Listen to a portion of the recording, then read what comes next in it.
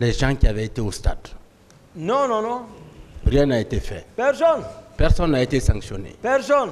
Bien. Sauf ceux qui ils ont monté, Oui. c'est-à-dire or- organiser, c'est-à-dire faire porter, me faire porter. C'est ce qui était en train. Voilà. Même une sanction disciplinaire. Rien.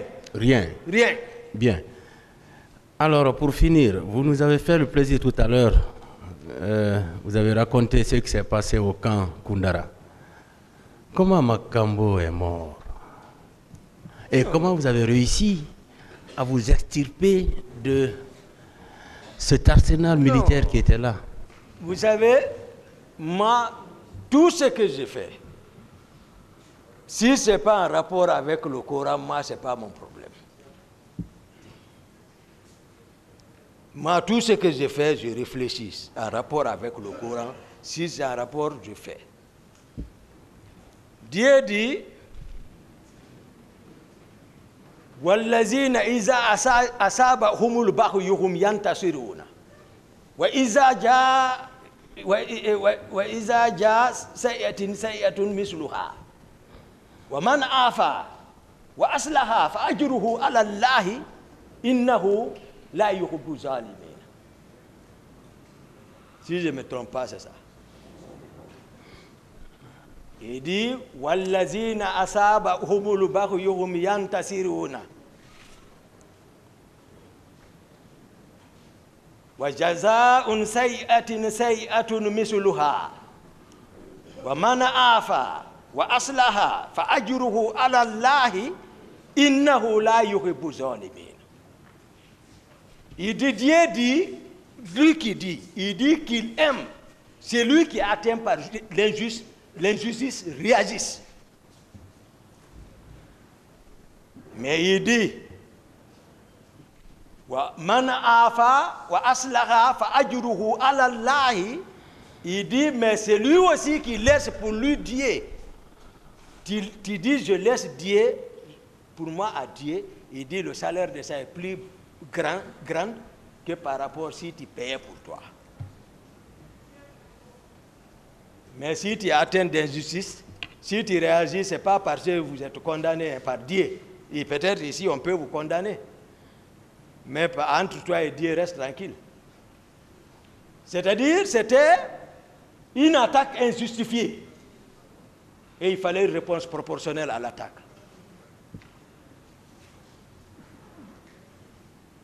J'ai décliné mon carnet de ce jour. Ce qui m'a fait sortir à la présidence et jusqu'à ce qui m'a fait partir à Kundara. Avait aucune intention, rien, je m'attendais de rien. Ce qui n'était pas nécessaire, si ce n'était pas la mau- mauvaise volonté du président qui pouvait, si, voilà, comme moi je m'attendais, m'appeler peut-être, vu d'où nous venons, il n'avait pas besoin de se lever, venir et comme ça s'arrêter et puis venir me taper sur la tête. Et les autres n'avaient pas besoin d'engager leurs armes m'encercler. Les propos qui, qui tenaient. Makambo n'avait pas besoin d'aller prendre un, un- contre moi.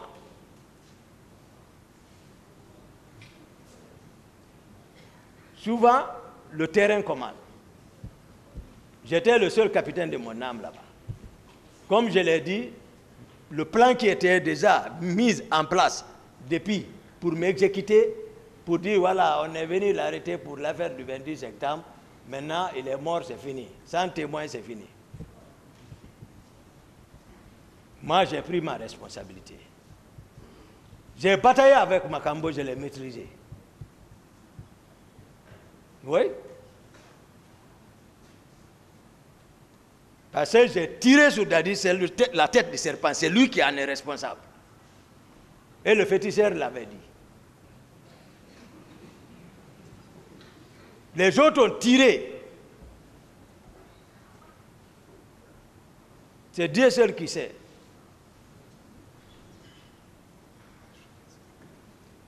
Il a la hache.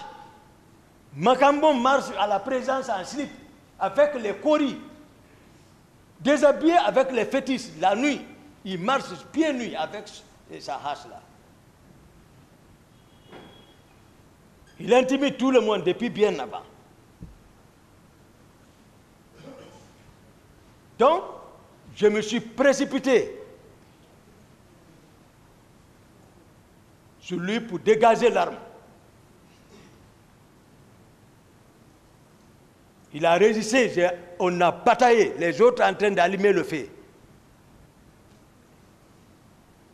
Mais il y a un secret, je vous dis, c'est Dieu qui connaît, lui qui a fait descendre le fer.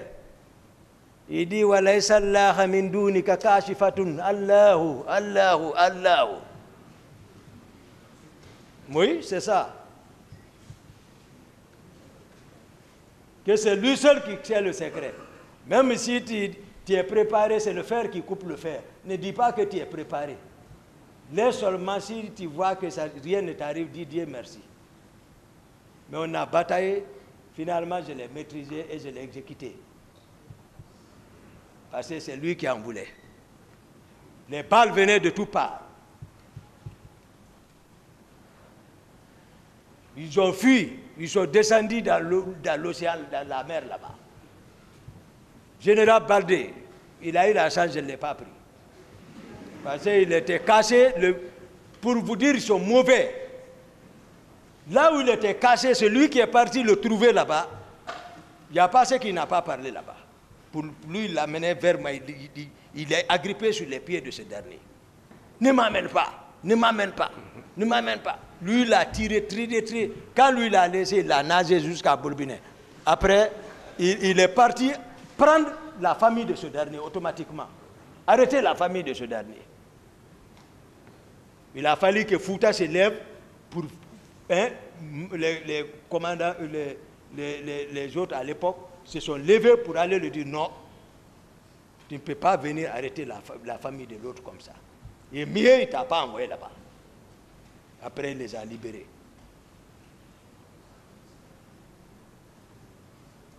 C'est une attaque injustifiée et une réponse proportionnelle. Merci, Monsieur le Président. Je pense que nous avons terminé notre tour. La partie civile. Non, une seule question, Monsieur le Président. Monsieur Abouaka Sidiki. Oui, Monsieur le procureur. Euh, vous avez parlé de camion. Camion. Camion qui est venu prendre les armes au camp Alpha Oui. Quelle était la destination de ce camion? Comme je l'ai dit, monsieur le procureur, c'est grâce au général Sekouba qu'on a témoigné. J'ai cité le nom du commandant Joe. Je vous ai dit, lui va venir donner, je ne sais pas, la mais c'est le président qui les a envoyés. C'est le commandant du régiment qui les a envoyés. Ça, c'était quand? À la, veille, à la veille des événements du Non, 28 vers septembre C'est vers les 25. 25. En tout cas, comme ça, 25, 26, 25, 26. J'en ai fini, Monsieur le Président. Oui, 25, 26. Oui, nous avons fini, Monsieur le Président. Ça, c'est pas- La partie civile maintenant. Vous avez pris une décision le 2 novembre 2009 de prom- promouvoir tous les officiers et sous-officiers de l'armée guinéenne au grade supérieur. Vous dites le, deux- le 2 novembre 2009. Vous avez pris une décision de promouvoir tous les officiers et sous-officiers de l'armée guinéenne au grade supérieur, sachant pertinemment que ces événements du 28 septembre-là, il y a, on a parlé des bérets rouges qui s'y étaient rendus. Malgré tout ça, vous avez pris cette décision. Comment vous expliquez cela?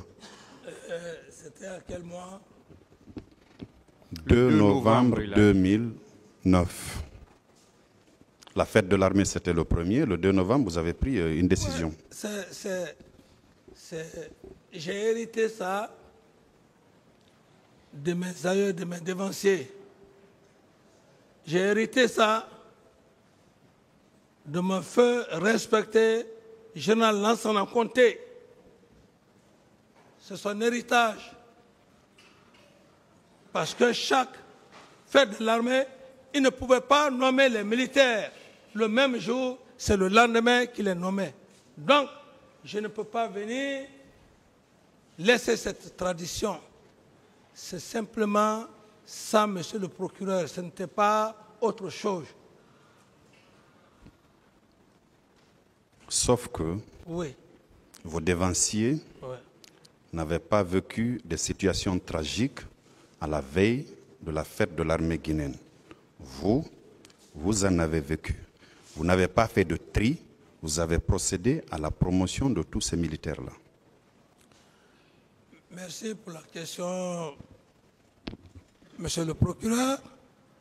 Certes, les circonstances n'ont pas été les mêmes. Mais je précise encore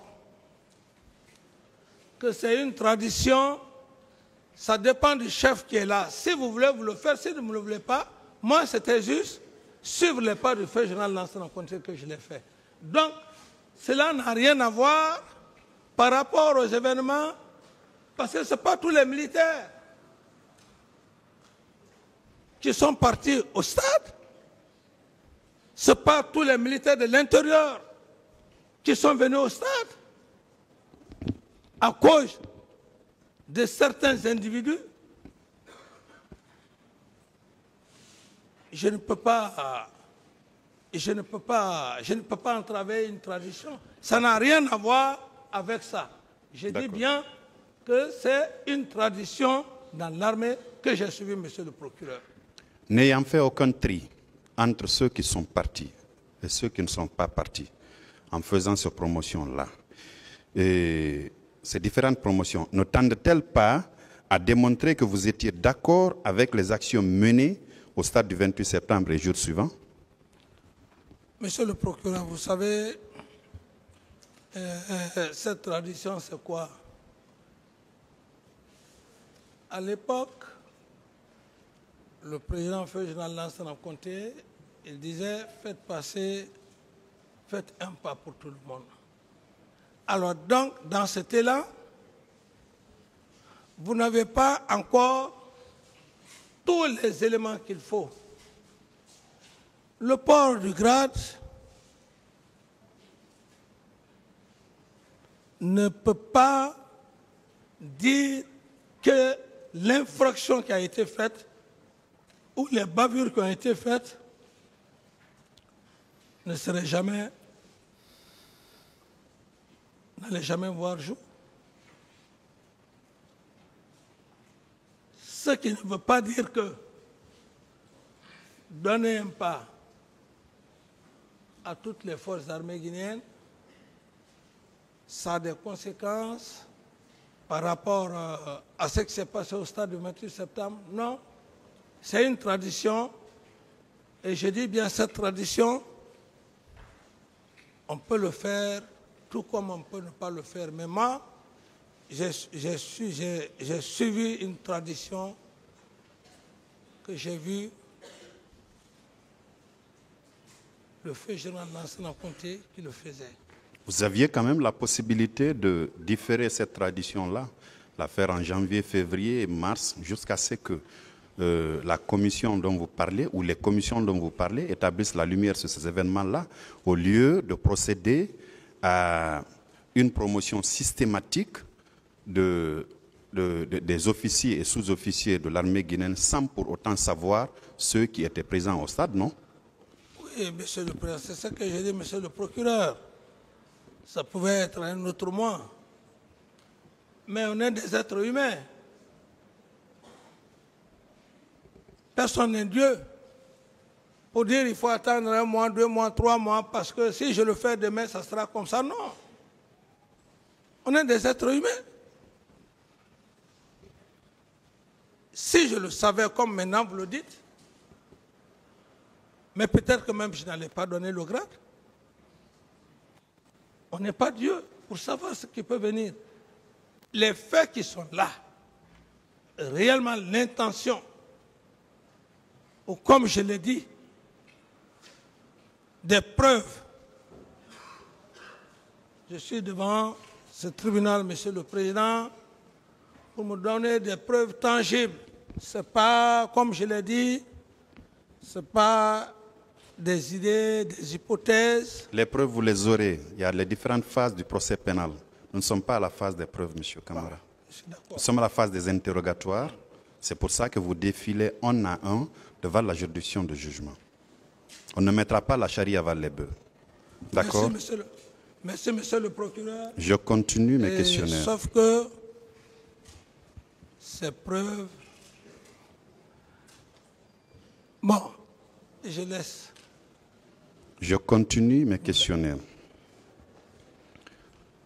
Après tout ça, Monsieur euh, Moussa Dadis Kamara, comment pouvez-vous pouvez-vous justifier votre silence? Par rapport aux efforts organisés et coordonnés en vue de dissimuler les preuves des crimes commis, efforts dirigés par les forces de l'ordre supposées responsables des crimes. En guise d'exemple, Juste après le carnage du 28 septembre, le stade du même nom a bénéficié d'une couche de peinture pour effacer les traces de sang qui pourtant étaient visibles. Comment vous justifiez votre silence par rapport à ces faits? Monsieur le procureur, juste vous dire que je ne suis pas le directeur du centre du stade du 28 septembre. Être président d'une nation ne veut pas dire que vous devrez jouer le rôle d'un directeur ou d'un ministre. Non. Si ce que vous dites, et j'estime que c'est aussi vrai, je ne dirais pas que c'est aussi vrai, j'estime qu'il serait mieux ceux-là qui ont la responsabilité du stade d'aller vers ces personnes acquérir les bons renseignements. Qui, quels sont ceux qui sont rentrés au stade pour faire tel, pour faire tel, pour faire tel? Mais ce n'est pas moi, monsieur le président. Je ne suis, pas- je suis pas directeur du stade. du Monsieur 28 Camara, c'est vous qui êtes à la barre. Donc, Le directeur, Moi, le puisque- directeur du stade n'est pas là. Voilà, moi, puisque je ne suis pas directeur du stade, je ne suis pas ministre euh, euh, des Sports, franchement parlant, monsieur le procureur, je ne peux pas expliquer ce que vous venez, les détails que vous venez de faire. C'est d'ailleurs ma, toute première nouvelle, ce que vous venez de dire. Sauf que vous avez dit à la barre du tribunal, pour votre défense, que euh, vous aviez appelé, vous avez mis en, contribué à mettre en place une commission d'enquête nationale et une autre à l'échelle internationale. Et vous savez, quand un crime est commis, bien que vous n'avez pas probablement fait des études de droit, mais vous devez savoir que eh, au niveau de la scène de crime, on ne touche rien jusqu'à ce que la commission vienne constater de visu.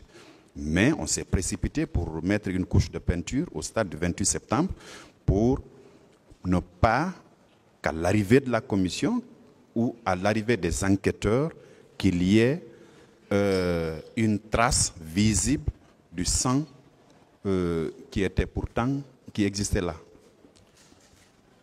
Monsieur le procureur, à ce niveau-là,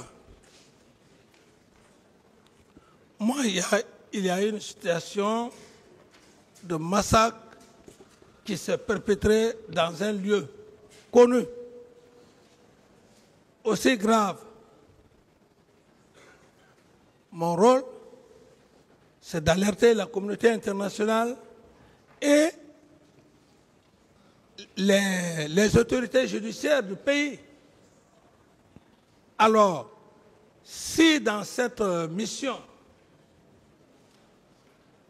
qu'à l'intérieur qui ne va y faire leur mission, est-ce moi ma faute? Non. Est-ce moi ma faute? Non. Moi, je crée une commission nationale pour une transparence. on choisit des cadres, des magistrats, de ceci, de cela. Et s'il y a faillite dans cette commission, c'est à moi la faute. C'est comme si euh, un chef, un directeur donne un, travail à ses- à ses subordonnés. Il dit, allez pour telle mission dans une région. Au cours de cette mission, il n'arrive pas à accomplir la mission. Est-ce pénalement, c'est la faute du directeur qui a envoyé ses agents pour faire un travail technique. C'est ceux-là qui n'ont pas bien fait le travail du directeur qui, sont, qui, sont, qui ont la responsabilité. C'est ce que je vais vous faire comprendre, monsieur le procureur. Le tribunal vous a entendu. Voilà. Et, je continue. Voilà. Je suis satisfait par rapport à la question. et C'est bon, M. Camara. D'autres questions, Monsieur le procureur? On a parlé des recrues de Kalea, qui est un, un centre d'instruction où des formations se faisaient. Que saviez-vous de ces recrues-là? Leur mode de recrutement Combien de temps devait durer la formation? Qu'en savez-vous? Merci, monsieur le procureur, pour la question. Euh, cette question, je vais juste essayer de dire quelques mots pour ne pas aussi donner l'impression de fuir certaines réalités devant le tribunal pour ne pas permettre au président d'avoir une conviction. Sinon, c'est le journal Sekouba, Konaté, et d'ailleurs, je le dis, je réitère, par rapport, aux- par rapport au, rec- au recrue de Kalea, ce n'est pas le président qui fait le recrutement. Il y a un ministre de la Défense qui a charge de faire le recrutement. C'est comme un peu, peut-être ça va encore faire un peu rire les gens, c'est comme le, ministre de la Justice. On dit ministre de la Justice, mais le ministre de la Justice n'est pas là, il a ses représentants ici. C'est un peu comme ça, monsieur le procureur. Le ministre de la Justice n'est pas là, mais il a ses représentants ici. N'est pas lui qui fait le jugement, ce n'est pas lui qui dit faites ça, faites ça, non. C'est typiquement par rapport à cette question, ce n'est pas le président qui s'est- qui s'en est occupé de ce recrutement. Le président Moussa Dadis Kamara, à l'époque, a simplement dit au ministre de la, de la Défense, si vous voulez faire un recrutement, faites au niveau de toutes les quatre régions naturelles. Donc ça veut dire que le ministre de la Défense nationale vous avait informé qu'il devait procéder à un recrutement au sein des forces armées guinéennes, n'est-ce pas? Parfait, parfait. C'est ça. On ne pouvait pas procéder à un recrutement sans pour autant que vous en étiez informé, surtout que vous étiez commandant en chef des forces armées guinéennes. Tout à fait normal, il faut être honnête. Bien. Le ministre de la Défense, s'il doit faire un, un recrutement, il tient à informer le président. Donc, le président lui donne le feu vert. Maintenant, euh, la méthode ou la manière de recruter l'incombe.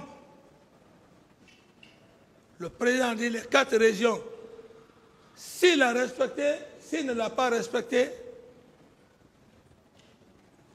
si vraiment sa présence va être là, il va vous dire comment il a recruté, comment il a procédé au recrutement des hommes de Kalea Et d'ailleurs, c'est dans, même c'est dans cette salle que je remercie d'ailleurs Dieu M. Toumba ait dit ici que ce recrute, dans ce recrutement, un recrutement, ce n'était pas dans les règles de l'art, tout ça, mais que dans ce même recrutement, qu'il a eu des quotas et le ministre de la Défense a eu des quotas. Ce n'est pas moi qui le dis.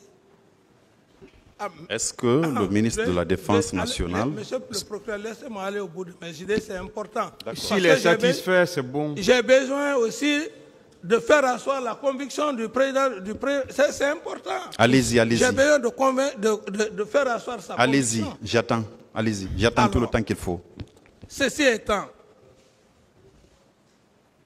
si c'est dans cette salle que j'ai appris qu'il y a eu deux centres de formation. Kalea et un autre, un autre centre d'ailleurs qu'on dit Siam. Nuit été, ce, ce jugement-là, je n'allais pas savoir qu'il y a- qu'il avait le même recrutement a eu deux centres de, de formation. Voyez-vous que c'est contradictoire, ambigu. Seul le ministre de la Défense peut éclairer votre lanterne.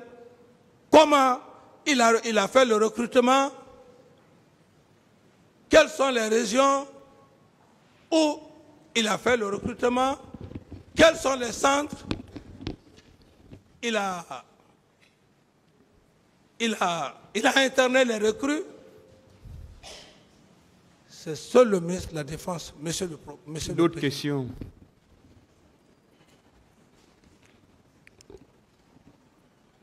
Parlant toujours de ces recrues, quand vous aviez le ministre de la Défense vous en a fait la proposition, aviez-vous discuté du nombre euh, qu'il fallait recruter et la durée de la formation de ces nouvelles recrues-là Vous en aviez discuté?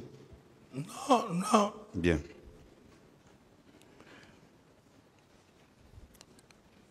Est-ce que vous confirmez que ces recrues-là étaient au stade du 28 septembre, euh, le 28 septembre 2009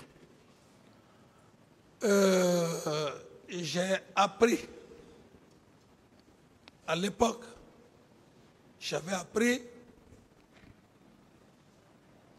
des informations, mais confirmé que les recrues de Kalea étaient au stade. Je ne peux pas confirmer parce que c'était des informations que moi j'avais appris. Mais ce qui s'est passé à Kalea, et monsieur le procureur, monsieur le président, vous pourrez même demander le directeur euh, ou l'instructeur qui était, qui était à Kalea. Je, je ne lui ai jamais connu. Donc vous ne connaissiez pas le nombre, vous ne connaissiez pas euh, la durée de la formation et vous ne savez pas non plus si ces recrues étaient au stade du 28 septembre. Non.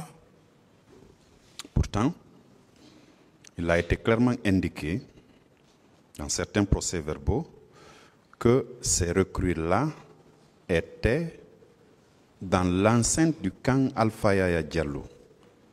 C'est là que vous aviez euh, vos bureaux et c'est là que vous aviez votre domicile. Et ces recrues-là auraient quitté ce camp dans des bus arborant euh, des tenues Chelsea et elles, ont été acheminées au stade du 28 septembre. Est-ce que vous confirmez cela? Monsieur le procureur, je ne confirme pas ça. Et d'abord, euh, si vous, vous faites juste euh, un transport judiciaire sur le terrain, avoir mon bureau, il n'y a pas un bâtiment qui est là, que je pouvais rester dans mon bureau, voir les hommes. Donc, je ne confirme pas, je n'ai pas vu des gens. Et d'ailleurs, ce que les gens oublient, la fonction d'un chef d'État, les gens pensent que tout ce qui se passe autour d'un chef d'État, il est censé être informé. Il faut l'assumer pour le savoir. Vous pouvez être là. On prend un de vos, proches. Si vous n'avez pas la chance, après peut-être deux à trois mois, quatre mois, on vient vous dire qu'il a trouvé la mort parce qu'il y a ceci, il y a cela qu'on vous place des arguments. J'ai pris l'exemple sur euh, le colonel euh, Ibrahim Assouri Bangoura et le colonel Vivas de Mantoramo qui ont séjourné au camp Alpha là-bas. Pendant plus de deux à trois mois, je ne suis pas informé. Quelle était l'utilité de vos services de renseignement dans ce cas Monsieur le procureur, disons, Vous étiez chef de l'État je quand même. quoi, je vais juste vous, Vous dire, étiez commandant en chef des forces suis- armées, suis- président du CNDD, président suis- de la transition quand même. je suis d'accord avec vous, monsieur le procureur, j'ai dit, il faut juste avoir la chance d'avoir des hommes, le service de renseignement, des hommes qui soient honnêtes avec vous. Sinon, vous êtes cuit. Sinon, vous êtes cuit. Moi, la chance que j'ai eue, par exemple, à, ce- exemple, petit exemple-là, c'est Madame la gouverneure, Jenna Mawa, n'eût été elle, le colonel Vivas allait mourir en prison et peut-être on allait le tuer. Même, Ibrahim Assor et Bangoura Bis, on allait le tuer en prison. C'est grâce à cette, à cette brave femme qui est venue me voir dans le bureau. Pendant combien de mois je ne suis pas informé Il me dit, est-ce que Abouré, tu sais que comment dirais-je, notre ami en prison. Bien. Ce sont des ça, mais les gens pensent qu'être président, alors voilà, on- non, c'est pas ça, monsieur le procureur. Même là où vous êtes, monsieur le procureur, D'autres questions? Merci, Monsieur le Président. Étiez-vous informé euh, du pillage des commerces, des biens mobiliers, habitations, incendies de magasins, conteneurs et leur contenu? Perpétrés par les agents euh, des forces de l'ordre dans certains quartiers de Conakry, tels que les quartiers de Bambeto, de Bomboli, de Amdallah et de Koza Vous étiez informé? Non, non. Vous n'étiez pas informé? Dans le cas de pillage, c'est quand il y a des problèmes que la presse en parle. Mais par rapport à cette question, je n'ai pas été informé de cela. Même par voie de presse? Même par voie de presse. C'est curieux. Il faut avoir juste la chance de tomber sur euh, la presse, qu'elle euh, qu'elle en parle et que tu puisses... euh, Pourtant, le 28 septembre et les jours qui ont suivi, toutes les stations de radio ont relayé des informations relatives au massacre, au pillage et les autres infractions qui ont été perpétrées au stade du 28 septembre et alentour et les jours qui ont suivi. Oui, monsieur le procureur, c'est ce que je dis. J'ai dit, il faut juste avoir la chance de tomber sur une information. Moi, par exemple, j'ai eu la chance de tomber euh, sur les images, sur certaines images. Si je n'avais pas eu cette chance-là, parce que ce n'est pas à tout moment où on est accroché à la télé, ce n'est pas à tout moment où on est accroché à la radio, et je ne dis pas qu'il n'y a pas eu de pillage. Je dis bien que je n'ai pas été informé. C'est différent de dire qu'il n'y a pas eu ça. Je vais juste dire qu'il faut avoir juste la chance de tomber sur l'information pour que toi-même tu cherches qu'il y a eu ça, il y a eu ça. D'accord. Euh, vous confirmez quand même avoir été informé, ne serait-ce que par voie de presse, n'est-ce pas? C'est ce que je dis, monsieur le procureur. Je dis bien que l'information par rapport au, au problème de pillage, à dire que je suis resté là, capté pour dire que toute ma pensée était sur le cas des morts. Je Tout continue. mon problème, C'était C'est bon, vous avez répondu que vous n'avez pas été informé. Je continue. Que savez-vous dans ce cas des attaques au domicile de feu Jean-Marie Doré à Donka, M. Selouda Diallo à Dexine et M. Sidia Touré à la minière? Bon, à ce niveau, c'est pourquoi j'ai dit qu'il y a certaines informations, on peut les avoir. Euh, à ce que je sache, parce que moi-même, je l'ai vécu dans les réactions, peut-être ce jour même j'allais perdre ma vie. Le colonel Teboro, par rapport, je parle au cas de, de Elage Selou d'Alain. Je pense, bon, je ne voudrais pas parler à sa place, mais situation oblige que je le dise. Alors il avait pris des éléments. Des éléments. Peut-être maintenant il dira que c'est les éléments soupçonnés avoir été chez M. Solou d'Alain. Mais ce jour, il, y a, il, y a, il, y a, il, il devrait y avoir un, carnage entre les éléments de Tebro et les éléments de, de C'est le bruit qui m'est venu. Et puis les gens sont venus me dire que les deux, les deux unités veulent, veulent, veulent, veulent, euh, s'approcher.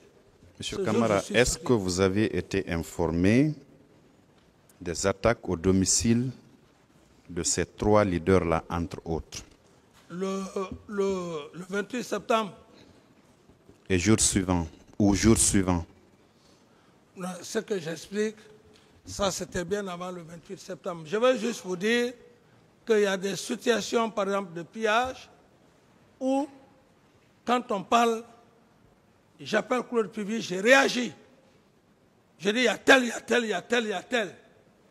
Je suis même arrivé un jour, je ne sais pas quelle banque, il y a des militaires qui ont, est-ce que ce n'est pas même Bamamadou au Baouri Ils l'ont fait descendre de sa voiture.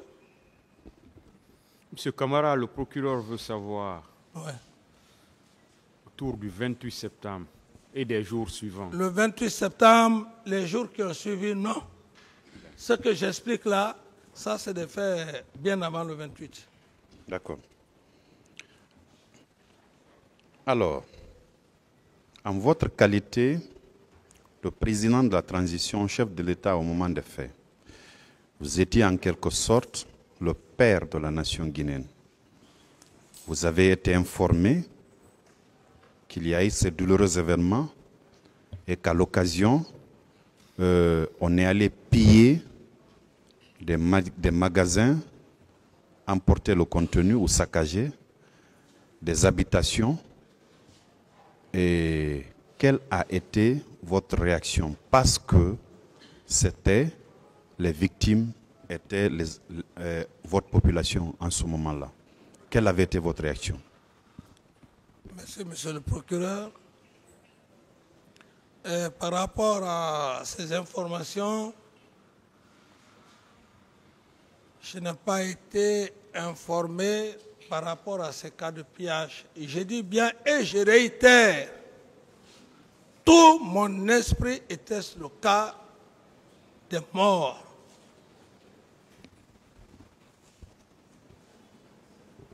C'était tout mon problème. Les gens qui sont morts au stade. Parce que c'est un fardeau, je voyais déjà ce fardeau. Mais dire que bon, euh, on m'a informé les cas de pillage, non. Est-ce qu'en Conseil de ministres, le sujet avait été tout au moins évoqué? Merci. Je pense que, comme je l'ai dit, moi j'ai eu la chance d'avoir euh, un Premier ministre charismatique, technocrate. En l'occurrence, le Premier ministre Cabinet Komara, je n'avais même pas besoin d'assister à un conseil de ministres. Demandez le Premier ministre Komara, pas un seul jour j'ai présidé un conseil de ministres. est-ce que le, n'y a- su- le sujet a été discuté devant vous en Conseil des ministres? Non, je n'ai jamais été. D'autres questions, monsieur le Voilà. procureur Il n'y avait pas eu de comité de crise non plus pour parler de cette situation qui a endeuillé plus Bien d'un. sûr, il y, avait eu, il y avait eu un comité de crise. Voilà, composé de qui et de qui? Ce comité de crise, j'avais confié ça au, au PM et je crois que ce comité de crise, si j'ai bonne mémoire, sauf que je me, au ministre de la coopération, un homme aussi très sérieux, euh, le ministre Koutoubou, alors des hommes de ressources. Ce, com- ce comité de crise, et il y avait aussi des, des religieux. Après les travaux de, la, euh, de ce comité de crise, un compte rendu vous avez été fait? Oh, bah, ça- cela m'a trouvé, cela a trouvé maintenant que j'étais. On avait déjà euh, perpétré l'attentat contre moi. C'est au, Burkina où je suis resté. Septembre, octobre, novembre, ce comité ne s'est pas réuni, n'a pas travaillé pour venir vous faire, euh, euh, vous rendre compte des travaux de la commission et vous faire des recommandations Mais, monsieur le procureur, par rapport à un événement aussi, euh, aussi important que ces massacres et pillages-là. mais c'est ce que je dis et je pense que ce comité a fait son travail. Pourquoi? Parce que les gens qui, ont perdu leur vie au stade, il y a eu cette commission-là, la commission de corps qui devrait s'occuper des corps et qui devrait faire, bon, dire distribution des corps, c'est un peu, je ne trouve pas le langage parce qu'un corps on ne distribue pas, mais le langage approprié, donner le corps aux parents. Cela a été fait par suite d'une commission et cette commission, elle était sous l'égide, des religieux et de... Monsieur Camara. ministre- Tout ce que monsieur le procureur veut savoir, c'est est-ce que cette commission vous a rendu compte une fois? Cette commission me, rend, euh, me faire un compte rendu. Je, euh, euh, après, après la, après bon, d'avoir donné le corps, et Est-ce que la commission vous a rendu compte à vous, en tant que chef de l'État C'est ce qu'il veut savoir? un compte rendu écrit. Non, qu'il soit écrit ou euh, verbal. Je Non, veux juste savoir s'il y a eu. chaque- euh, Voilà, c'est pourquoi je demande un compte rendu euh, écrit ou Chaque fois que ça se passait, le PM, le Premier ministre me rendait compte. Et même les corps qui étaient, comment dire, à la morgue, j'étais déjà informé, mais c'était dans la main, à la disposition de cette commission. Donc, un compte, un compte rendu écrit, non, mais verbal, je le recevais. Et Bien, après ces comptes rendus, après ces comptes rendus verbaux, excusez-moi de vous interrompre, je, je suis déjà satisfait. Après ces comptes rendus verbaux, est-ce que vous avez pris des décisions? Après, après ces comptes rendus verbaux, les personnes déjà décédées au stade, c'est moi qui ai, qui ai donné des instructions au ministre de la Santé lorsqu'il était question de filmer les corps parce que la presse étrangère était là, l'accès de la presse étrangère était difficile, c'est moi qui lui ai donné les instructions. J'ai dit, laisse, laissez la presse, la, la presse étrangère rentrer, filmer les corps. D'accord. Est-ce que vous avez pris des décisions après ces comptes rendus-là À part de filmer les corps là Mais c'est ce que c'est les décisions maintenant que, que j'ai eu à prendre. C'est là où je l'ai dit, ces corps, il faut que ces corps, vous les gardez à la mort, que ça soit bien entretenu pour que les parents puissent être en possession. C'est ce que vous avez vu à la mosquée Faïssa. Et la distribution des corps devrait se faire par les religieux. Donc ce sont des décisions urgentes qu'il fallait prendre. Et c'est ce que j'ai fait effectivement. C'est ce que vous avez fait. J'ai dit bien, monsieur le procureur, j'ai dit que cette commission, les parents des victimes devraient être en possession des corps. Ceux qui sont déjà morts. C'est ce que je viens de vous expliquer. J'ai dit cette commission, elle était religieuse et accompagnée avec euh, le ministre Koutoubou, puisque j'ai tenu compte de la probité morale, en, en quelque sorte, Koutoubou, par exemple, son cas, puisque c'est un homme euh, très pieux et puis en matière de coranique, il est très bien. D'accord. Voilà. Je continue. Alors, le 29 septembre 2009 et les jours qui ont suivi, sur les zones de plusieurs stations de radio, vous tentiez de justifier l'usage de la force au stade. Ma question, c'est de savoir quel était l'objectif ou le but de cette justification. Est-ce que c'est pour dédouaner les agents des forces de l'ordre qui étaient euh, partis au stade faire usage de, de leurs armes, ou bien pour vous refaire une virginité, vous, aux yeux de l'opinion nationale ou internationale? Une, une virginité? Oui. Non. Ici, euh, c'est comme tout homme, hein. Y a plus forte raison, un chef d'État, pour rester là.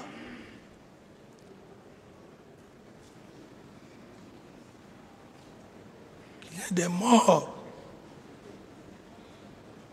Après toutes les dispositions que vous avez, vous avez prises, mais malgré tout, il y a eu beaucoup de victimes. Mais la réaction, elle est naturelle. C'est cette réaction que j'ai eu à faire de façon très naturelle.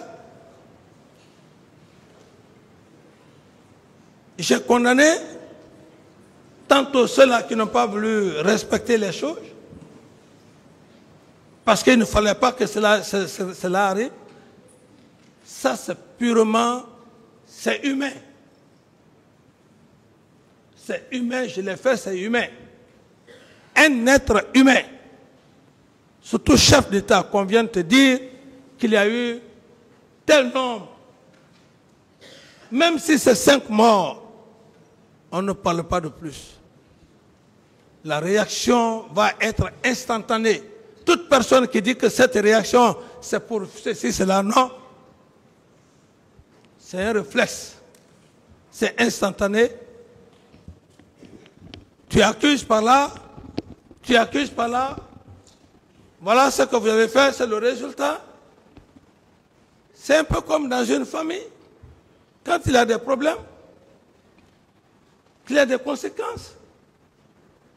Le père de famille peut accuser par-ci, par-là son enfant, il accuse aussi euh, de l'autre côté la soeur, il accuse aussi de l'autre côté la maman, il accuse, il accuse. C'est un peu comme ça.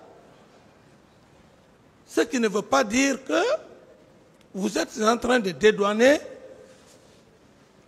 ces personnes qui ont commis, qui ont, perpétré l'acte, et vous-même, non. D'accord. Euh, on a parlé de camions militaires qui étaient stationnés dans l'enceinte du camp Almami Samori Touré, euh, à proximité de l'ancien domicile du général Lansana Conté. Et dans ces camions, il y avait des corps sans vie de plusieurs de nos compatriotes. Est-ce que vous en étiez informé? Non, non, monsieur le procureur. N'étiez pas informé de l'existence de ces corps dans les camions militaires? Entre Dieu et moi, non.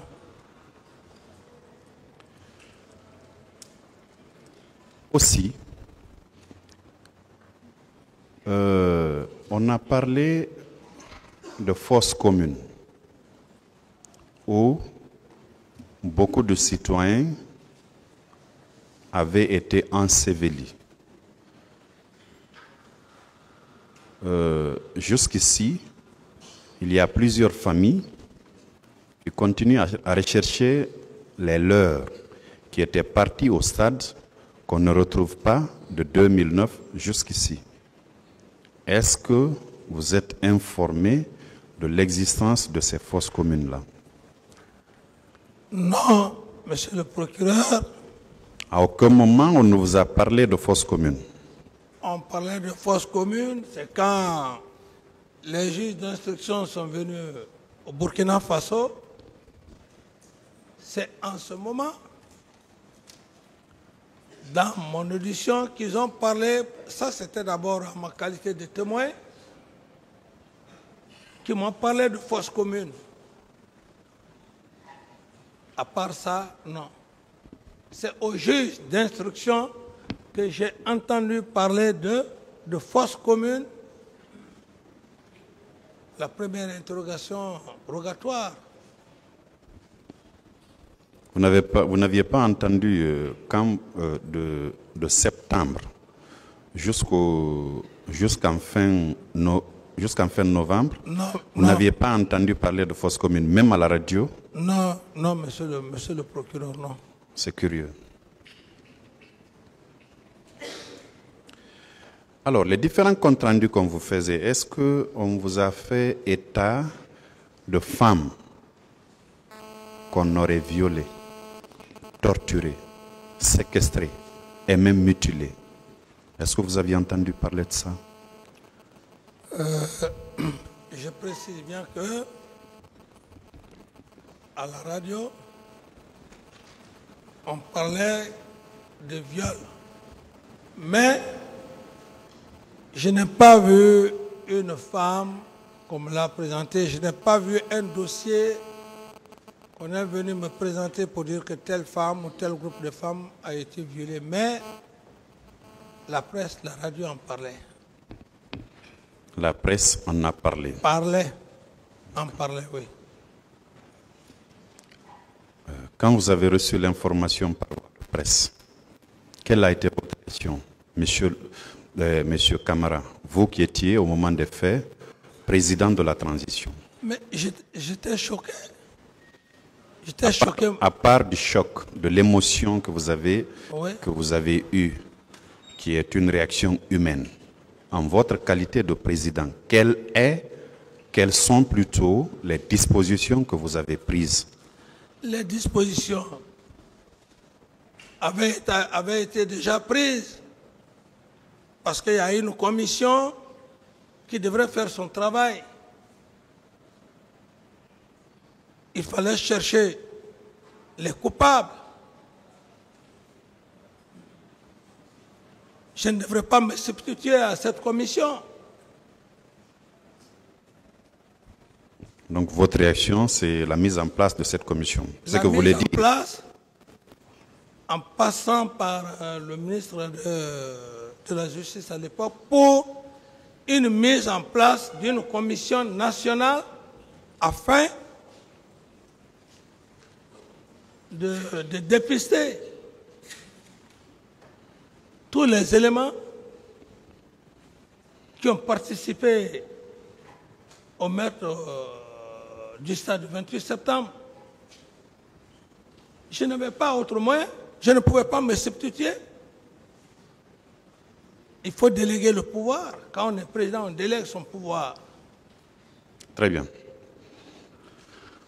Est-ce que vous confirmez que euh, et vos bureaux et votre domicile étaient dans l'enceinte du camp Alpha Yaya Diallo? Par- parfait, oui. Vous le confirmez oui. Alors, il y a plusieurs témoignages euh, qui indiquent que des femmes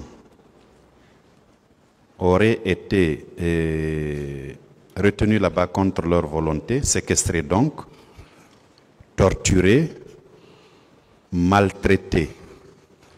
Est-ce que puisque vos bureaux étaient là-bas et votre domicile aussi, vous n'aviez pas entendu parler de ça, vous n'avez pas entendu les cris de détresse de ces femmes et autres manifestants qu'on avait retenus contre leur volonté? Vous n'avez pas entendu parler de ça, monsieur, monsieur? Chez, chez moi ou bien ailleurs? Dans l'enceinte du camp, je dis, ce n'est pas dans votre domicile. À moins que vous nous donniez une information. Ah non, je, je pensais De ce que, genre Je pensais que vous voulez dire que c'était c'était dans la, dans la- dans- à l'enceinte du capitaine Moussa Dadis. Non, j'ai parlé de l'enceinte du camp Alpha Non. Yaya Diallo. J'ai commencé par demander si vos bureaux et votre habitation étaient là-bas. Monsieur le procureur, tous mes éléments, personne ne peut dire un seul jour, je suis allé à son bureau au camp. J'étais tout le temps dans mon bureau, c'est eux qui venaient me voir. Je sortais d'ailleurs rarement. Je n'ai pas vu, je n'ai pas entendu, Monsieur le Président. Monsieur le procureur, Bien. Puisque vous avez soutenu que Aboubakar Diakité alias Toumba était parti au stade, vous dites? je dis puisque vous avez soutenu. Que M. Aboubakar Diakité, communément appelé Toumba, s'était rendu au stade du 28 septembre où il y a eu ces massacres-là. Vous confirmez l'avoir dit, non? À la barre de ce tribunal. Monsieur le, Président, c'est c'est Aboubakar Diakité Toumba qui a dit devant, c'était la première question que le président... Est-ce que vous, vous confirmez qu'il Je est confirme, parce que lui-même il a dit, je confirme. D'autres questions? Parce que vous avez dit qu'il était difficile de l'arrêter, Oui. c'est vous qui l'avez nommé aide de camp. Pourquoi vous ne l'aviez pas limogé? Votre question? Pourquoi C'est vous qui avez soutenu ici qu'il était très difficile d'arrêter M. Toumba parce qu'il traînait une foule, euh, enfin il avait des hommes derrière lui. Pourquoi tout au moins vous n'avez pas pris un acte pour le limoger de sa fonction d'aide de camp? Parce que c'est vous qui l'avez nommé. Non, mais, mais ce n'est pas la solution. La Pourquoi vous ne l'avez pas limogé? Je ne l'ai pas limogé parce qu'il y avait une situation en cours en le limogeant et qu'il arrive à prendre la fuite. Qu'il arrive à prendre la fuite. Il est limogé, il n'y a pas de problème, il ne fera rien. Mais si demain, demain, on apprend que le même Toumba que j'ai limogé, il a pris la fuite, mais en ce moment, j'ai provoqué euh, je ne veux pas qu'il ait la vie. Je ne veux pas, je n'ai pas la volonté. Je l'ai je l'ai fait évader. C'est ça le problème, c'est très simple. Monsieur le procureur, si je l'avais fait et qu'il prenait la fuite, parce que limoger un aide de camp, ça veut dire beaucoup de choses. Attention, ils m'ont limogé. Si je reste là, est-ce qu'il ne va pas faire quelque chose de mal contre moi? Et s'il prenait comme adresse la cabale? C'est aussi simple que ça. Monsieur Thiebro, Moussa Thiebro Kamara, qui aussi, selon vos dires, vous avez reçu une information comme quoi il était au camp. Lui aussi, pourquoi vous ne l'aviez pas limogé? Je ne l'ai pas limogé parce que dans, dans la nomenclature réelle, le colonel Tébouré et ses hommes, ils avaient une mission spécifique par rapport à la gendarmerie, maintien d'ordre, et donc, le connaissant aussi, le connaissant dans, ses activités, parce que là où il est, même si on tire tout de suite là, le va- va sortir pour, pour aller à ce lieu. Donc, il a une troupe le truc de euh, brigandage ou de ceci, de cela, je ne pouvais pas l'arrêter parce que c'est lui-même qui est venu avec le Premier ministre, à l'époque, me voir, me faire le point. Et c'est à lui que je lui ai donné des instructions quand il m'a dit que les leaders politiques étaient au camp Samori. C'est moi qui lui ai dit, si jamais on touche un des leaders politiques, tu auras affaire à, j'ai dit, va les enlever là-bas, tu les envoies à la clinique Pasteur. C'est moi qui l'ai dit. Passer d'abord son rôle, la gendarmerie, comme on le sait, je n'ai pas besoin de rappeler, il a passé ici et puis vous a donné comme le rôle de maintien d'ordre et de ceci, de cela. Donc, je ne pouvais pas arrêter le colonel Tibourou. Très bien.